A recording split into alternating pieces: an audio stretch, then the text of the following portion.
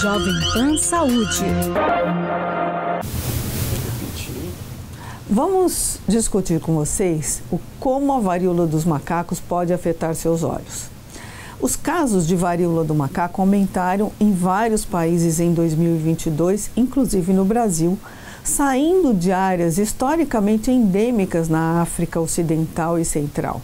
Em julho, os casos foram confirmados em todos os continentes, exceto na Antártida, e, na, e, a Organização Mundial de Saúde declarou o surto uma emergência de saúde pública de importância internacional.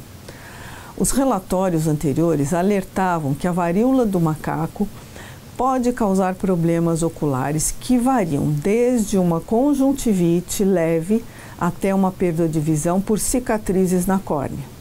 A varíola do macaco é causada por um vírus que está intimamente relacionado com a varíola, mas muito menos mortal e contagioso.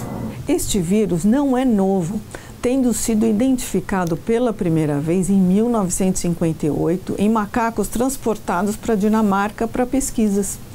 Essas pesquisas uh, levaram os cientistas a suspeitarem de que esteja, esse vírus esteja circulando há milhares de anos. Curiosamente, foi identificado apenas uma vez no macaco selvagem e, e é muito mais comum em roedores.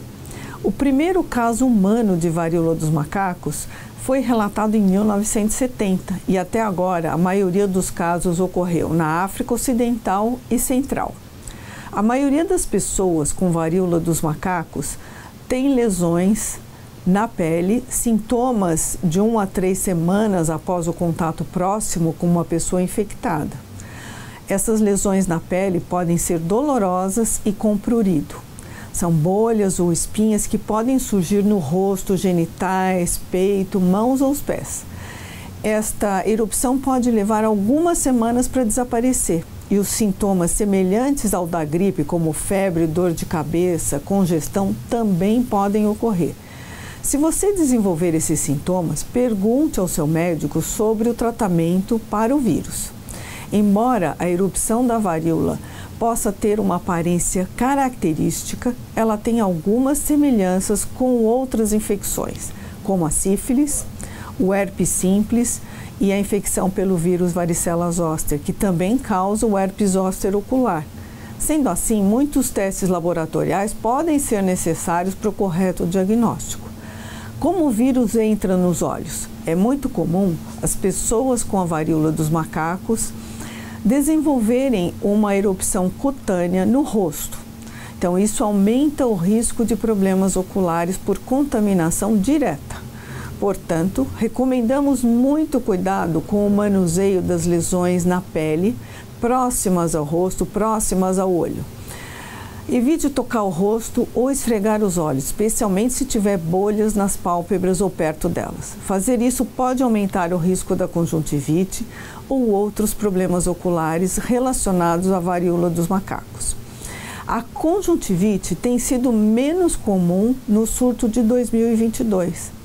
Até agora, as pessoas infectadas durante o, curso, o surto de varíola dos macacos em 2022 desenvolveram problemas oculares como olho vermelho, crostas nos cílios, inchaço das pálpebras, bolhas na pele das pálpebras ou ao redor, sensibilidade à luz, como a fotofobia, dor nos olhos, visão embaçada.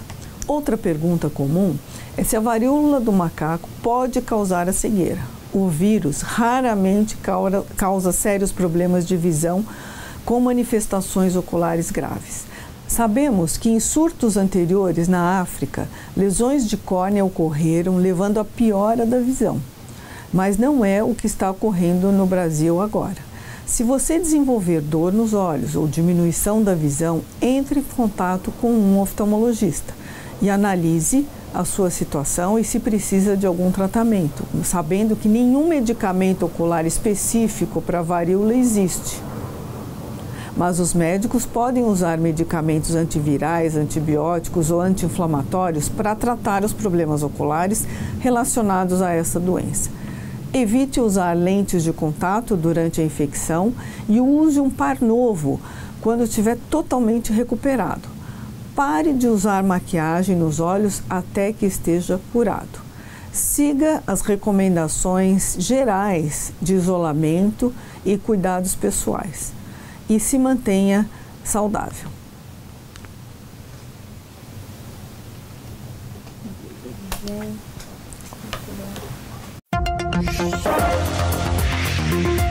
Jovem Pan Saúde.